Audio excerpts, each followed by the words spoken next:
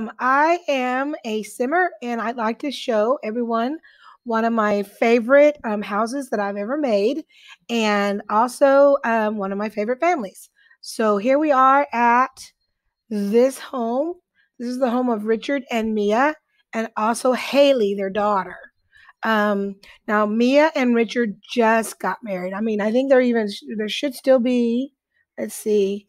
Nope, they probably just lost their um, um, um, their their positive moodlet for getting married because it was I mean it was just like a day or so ago.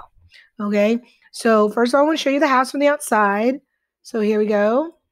Isn't it beautiful?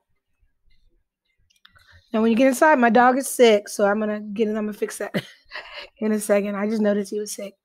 And then here's the outside. Now I know there's probably some stuff I could add like some landscaping, but I will work on that because this is a family, so they have to save their money. Um, but look, I love the nice big wooden porches. Look at there's a front porch, and there's the back porch right there. Very nice. Looks like it's a muddy fall day here. It looks like Texas. All right, so let's go inside. Now this is the we're gonna start on the bottom floor. Um, this is the bottom floor. Now, this is a fairly compact house, um, even though, I mean, it's got enough room, but it's fairly compact.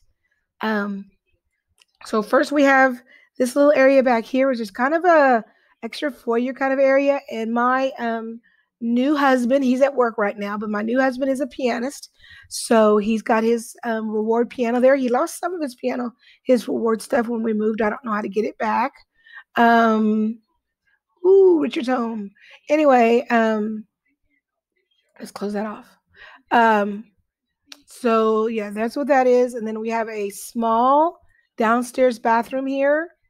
Very small, not you know, because you know the bathrooms aren't too big in this house. Because like I said, it's compact. Little place, little nook for a computer. Um, I just noticed that the brewer is broken. Let's see if I can come get her. Richard, I think Richard can fix it. Um, I'm gonna come get him to repair that while I'm working on this um, view. And he's a little tense, but hopefully he'll fix it anyway. You know, getting home from work makes you tense. And then here is the area for um, um, the um, living room.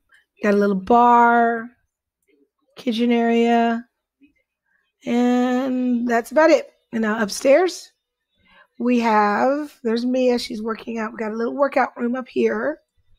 And then we have another small bathroom. Both bathrooms are fairly small. We do have the one bathroom with a tub because we do have a dog. If you see him there, he is. He's sick. Look at him, bless his heart. I got to take him to the vet. And then here's my teenager's room.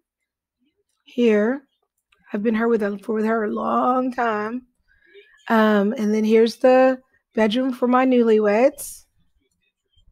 And then we have now there isn't a new baby yet, but they're planning one. So right now this is kind of like there's a few things left over from when Haley was a little girl. I don't know where Haley is. Is she off? Anyway, um, there's when she was a little girl, we have some little extra things. So when they've painted the room green, but they'll see. We don't know if it's a boy or girl. This baby doesn't even exist yet. He's a sparkle, or she's a sparkle in his daddy's in her daddy's eye. Um, so anyway, I just wanted to show you this beautiful, cute little house and my sweet little family. Let's take a look around again from the outside. Put all the things up. Just got a nice curved. This is in the um, neighborhood with that came with the cats and dogs. So they have those rounded um, roofs. So I added that and some of the cats and dogs um, windows. And there it is from the street. There's the curb appeal. Mm-hmm. And all right, well, thank you for watching. And if you have any suggestions, let me know. I'm not very good at this type of roof right here, so I need to work on that. All right, thanks for watching. Bye.